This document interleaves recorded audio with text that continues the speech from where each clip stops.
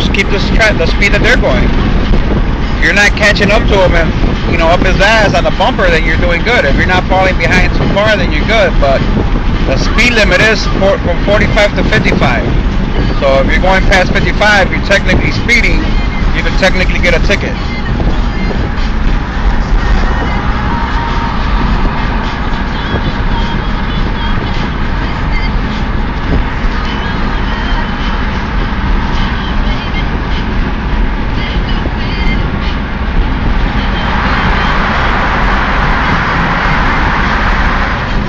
Teaching her how to ride her first bike to her first time on the highway.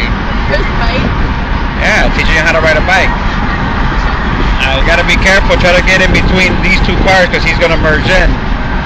So let him come in front of you and then just maintain your speed. The guy, other guy's gonna go behind you.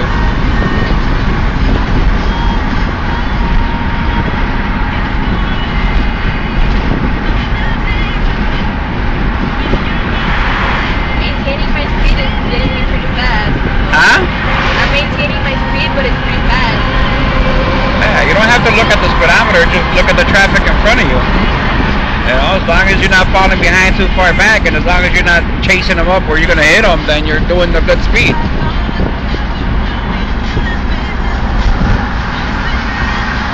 And if you're uh, going to the speed limit and somebody's behind you close, just let them pass you on. They'll, they'll go around you. You don't have to go faster. Let them go around you. Just maintain your speed. They know they got to go around you because you're going to maintain that speed.